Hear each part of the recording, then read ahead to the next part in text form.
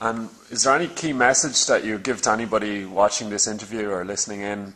Any key point you would like to encourage people to to keep in mind when they're thinking about the issues that affect them or what the, the issues that they might want to take action on?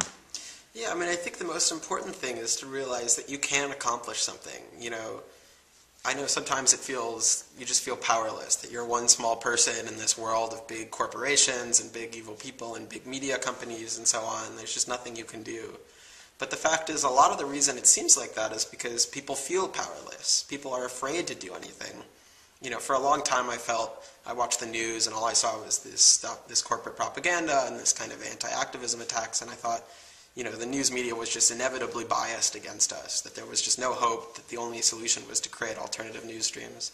Now, at the PCCC, I found it's not that the news media is inevitably biased against us, it's that, you know, reporters like all of us are just kind of lazy. You know, they report the stories that people give them, and there are huge companies that are willing to write up stories for them and hand them to them on a silver platter, so all they have to do is type them up. You know, of course they're going to do that. And it turned out when we did the same thing, when we started writing press releases and we started going to reporters and pitching them stories, they were just as happy to write about us as they were about Coca-Cola. And so, you know, because I had believed so long that change was impossible, it precluded me from taking any actions that could have caused that change. And so I think the first step for everyone out there is just to believe that you can accomplish something. Because once you believe that, you know, you're half the way to actually doing something.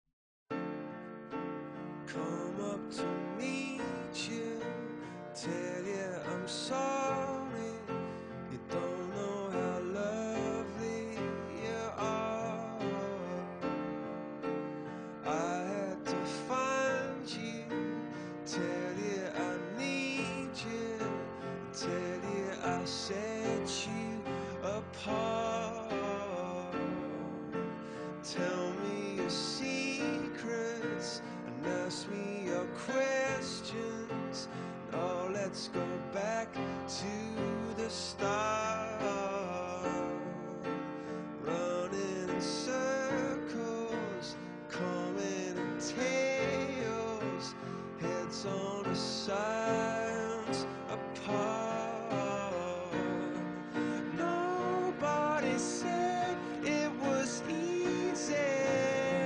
Yeah, well, as you know, it's very easy to go to other countries and criticize them. It's a lot harder to look at your own country and point out what's wrong here. But it's ironic that Hillary Clinton is giving this speech this week when just in a couple days, the U.S. House of Representatives is expected to vote on the infamous bill that I've been on the show talking about many times that would allow the government to shut off websites here at home and censor them from American users. So yeah, they, you know, not just the FCC, but actually the U.S. Congress is planning to vote on this bill, and despite a million people around the world trying to get Hillary Clinton to speak out against it, she's remained silent. Yeah, he was dedicating his life to building a world, a nation at least, but a world that was as idealistic as, as he was. And, and he was impatient with us, and he was disappointed with us, with all of us, as we moved through this fight. And, and he, as he grew impatient, he, he called on people to do more. And, and it is incredibly hard for all of us who were close to him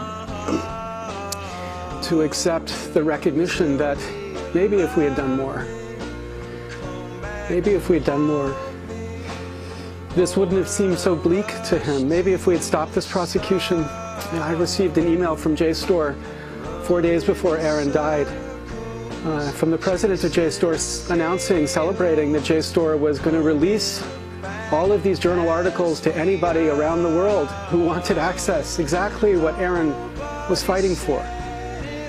And uh, I didn't have time to send it to Aaron. I, I was on, I was traveling, but I, I look forward to seeing him again. I had just seen him the week before and celebrating that this is what had happened. So all of us think there are a thousand things we could have done.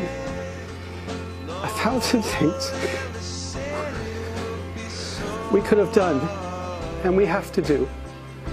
Because Aaron Swartz is now an icon, an ideal, He's what we will be fighting for, all of us, for the rest of our lives.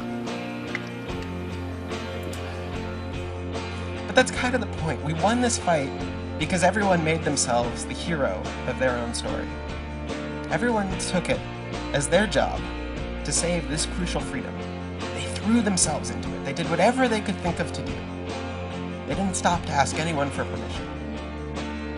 You remember how Hacker News readers spontaneously organized this boycott of GoDaddy over their support of SOPA? Nobody told them they could do that. A few people even thought it was a bad idea. It didn't matter. The senators were right. The internet really is out of control. But if we forget that, if we let Hollywood rewrite the story so it was just big company Google who stopped the bill, if we let them persuade us we didn't actually make a difference, if we start seeing it as someone else's responsibility to do this work, and it's our job just to go home pop some popcorn and curl up on the couch to watch Transformers, well then next time, they might just win.